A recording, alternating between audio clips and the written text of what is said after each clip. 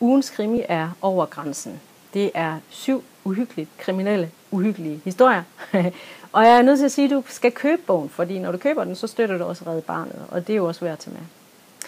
Vi hører om kendte personer, blandt andet en ung Axel Sten øh, og en Niels Benson, som jo er gisselforhandler. Vi hører også om nye steder og nye personer. Blandt andet kommer vi til Tyskland under 2. verdenskrig, og øh, vi kommer til Djursland, hvor vi hører lidt om et rhododendronbed, som ikke bare er det.